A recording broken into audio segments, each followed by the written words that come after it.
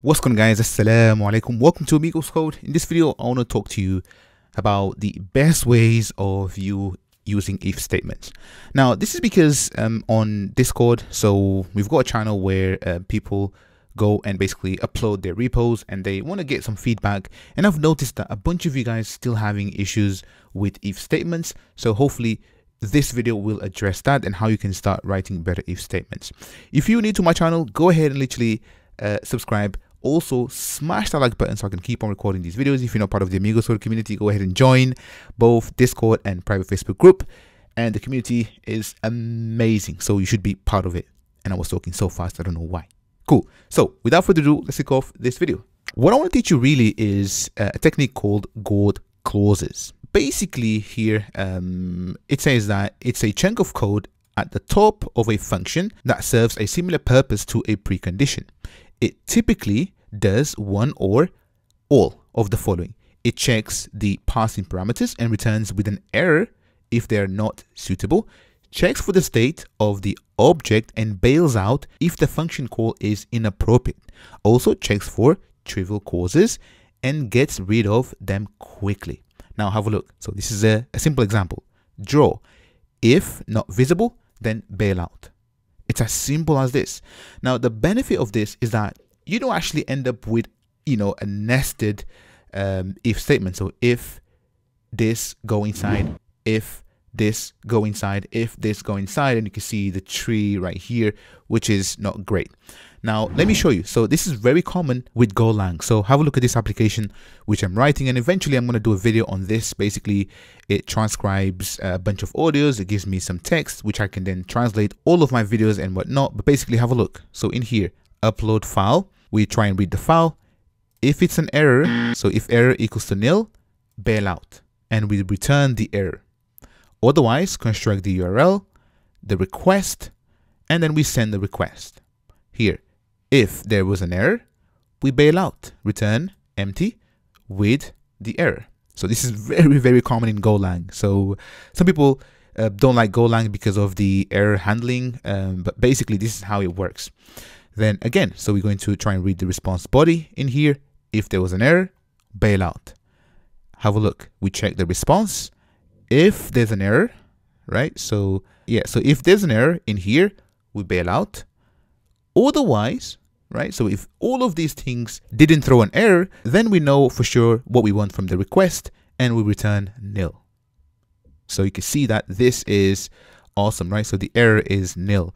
So I think, let me, let me have a look, have a look. So again, so this is another example in here. So we do a bunch of things. If it's error, return. Uh, I think this is something else. Uh, what's the name of the method here? So submit request, right? So again, if error, then basically you return um, basically an empty response with the error. Otherwise, in here, so we try and marshal, we get JSON blob, and then we return the um, basically request response, right? Now, let me show you what you guys have been doing so far, and I'm going to improve on a bunch of if statements. So let's start with uh, forum backend, and I'll leave the names of uh, everybody that sent these requests and also the repo so you can go and check them out. So here I've got a bookmark so let's just open up post service in here, line 61. Let's have a look. So line 61, what we have in here is, so we have a post, we have a user, we try and find by, by the username. If the post get user equals to user, then we do this, else we throw an exception, right? So one common here is, I think this right here is inefficient and you should be using joins on your query right? So this is wrong. But anyway, so this is not what I'm teaching here. So what we're going to do is we're going to reverse this, right? So if the post in here is not equal, so it's not equal to the user, we're going to do this, what you've just done in here, right? And have a look. We don't even need the else statement anymore, right? So just like that, and let me put this on a new line same line actually. So if that's the case we bail out we throw an, we throw an error. Otherwise we can do this. And you can see that we got rid of the else statement another um, example is so within my bookmark line 52 and 43 I think so have a look if the user is not equal to null so I think here what you could do actually is we can take all of this. So in here, instead of doing a get, you can say dot or else throw, right? So or else throw, we're going to throw your exception that you had at the bottom. So just like that. Now all of this can come out and we can get rid of all of that. So no need for else in there and we return just like that. And obviously this is saying to me that unchecked assignment, so on and so forth, but that's not what I'm what I'm focusing on here. Then I think it was line, so line 43. So another example here. What was with this? Here, we get the username from here. And at this point, I think you should be doing the check right above. So in here, so we can even move this in here. And because you're using optionals dot or else throw new uh, basically let me just paste and put this on a new line. And there we go. So you can see that this is much better. So now we have the user in here. Then we authenticate and so on and so forth so here it's not much of a if statement but it's just an improvement on here so let's just move on to the second one so i think uh, that was it. I think common service if exists.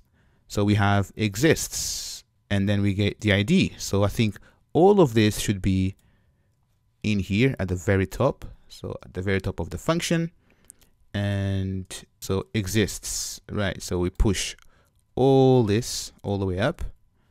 So if it doesn't exist, we throw an exception. Otherwise, we get the user and I think maybe you could um, do some joining in there. So you get uh, basically the user and then you could perform the conditioning in it as well. But here again you could say or else and then you, you carry on basically what you're doing. So you can see that we are bailing out as soon as we can. So moving on to the second one so patient portal uh, I can't remember exactly who sent me this but I've got bookmark patient so in here what we doing have a look we have patient local find user by username. So if it's not equal to null, which is fine, uh, else, blah, blah, blah. So I think here we can get rid of the else just like that. And you should really be throwing an exception.